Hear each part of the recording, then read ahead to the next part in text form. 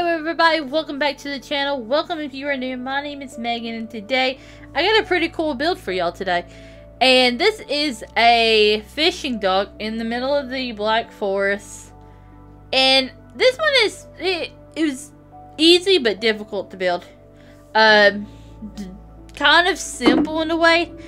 Um, I just went a little bit more detailed with it, but generally it's made out of stone. I mean, it's just a stone block, basically what it is. But then you got the details around it. But this one, uh, if I had to rate it, it would be like from difficulty. I would say it's about, you know, about a six. If you're playing vanilla, then getting some of the stuff later on in the game may not be hard, but in the beginning of the game, absolutely, it's gonna be difficult. I, would rate it as like a 6 difficulty, but this is probably actually one of my favorite builds that I built so far.